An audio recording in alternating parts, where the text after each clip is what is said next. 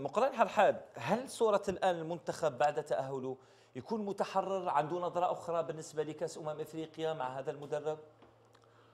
بطبيعة الحال يكون عنده نظرة واحدة أخرى. دوك راه يشوف بلوس. قبل ما يلعب مع السنغال كان عنده مازال عنده الشك حتى وين كانت المقابلة ماشي مصيرية. قال معليش نخسر مع السنغال. نربح مع تنزانيا يعني جزت ولكن هل عندي المستوى اللي نقدر نقابل به في الدور الآخر؟ اليوم ربح مع السنغال. الرغبة تاعو تكبر. قال هنا دوك راني parmi les favoris تاع الصح.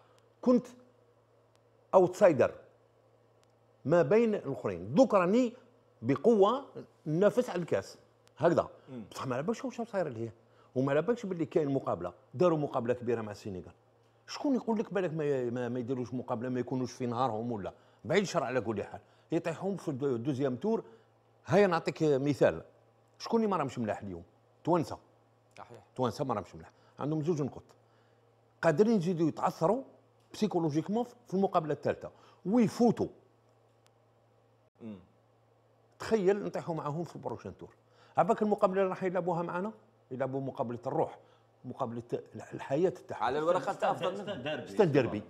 في الديربي تقدر تخسر. même تلعب خير الآن أنت تقول بالماضي بالماضي بالماضي بالماضي. بالماضي. شوف رانا رايحين نقونفليوه حتى يطرطق وحده. لا. أنا مانيش d'accord. نعم راهو يخفي الطريق الصحيح هاني معاك. رحبنا به. خير أنا من كنت من الناس اللي كنا نقولوا جيبوا بالماضي عطوا له أربع سنين ولا خمس سنين même ولا خسر فيهم on va avoir une image pourquoi parce que les trophées كاع اللي داتهم الجزائر. داوهم جزائريين. les étrangers ما جابوناش اليوم بالماضي واش راهو يدخل؟ عند les joueurs ديالو. عباك واش هو يدخل لهم؟ نعم هاو يزرع فيهم الروح نتاع بالماضي شفانو انت بالماضي كيف كان يلعب؟ شفانو كيف كان يلعب؟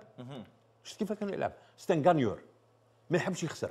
c'est عنده le punch عنده هذيك la la la, la force ما, ما, ما يحبش. حاب يدير اللاعبين تاعو على l'image تاعو هو. بالك مع السينيغال بالك دارها. ونزيد نقولها ثاني رانا ما لعبناش خير من السينيغال.